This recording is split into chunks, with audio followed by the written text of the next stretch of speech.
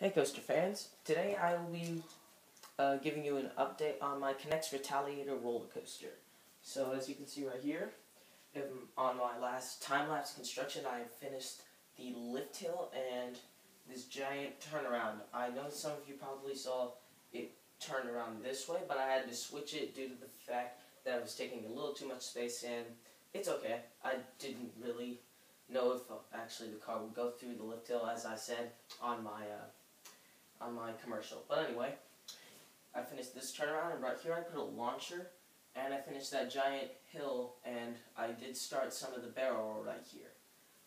I sorry I forgot to put that in, but I just started con to construct it without any filming, but that's okay. So here, I will be using to propel the car. I will be using a drill.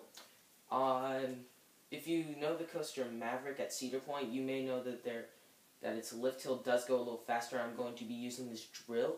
It is not fully constructed with an automatic system. I will be making automatic box system around here.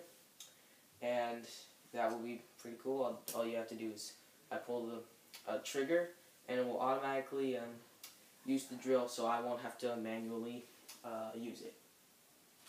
And then, yeah, that's pretty much it. So, to end out this update, I will give you guys a quick test of two cars. And it actually looks pretty cool. So here we go.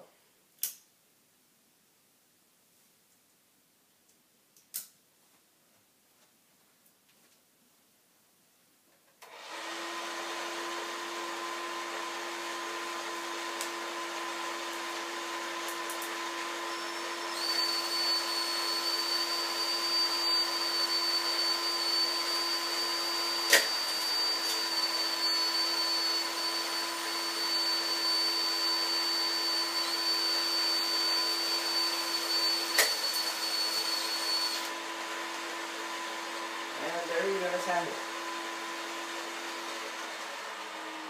And there you guys have it. I'll be adding more on, on the coaster, so that's really all I have for this update. So be sure to like, comment, and subscribe to my channel as I will keep more videos coming. And I will be, yeah, I'll be keeping more videos coming. So see you guys next time on The Coaster Crafter.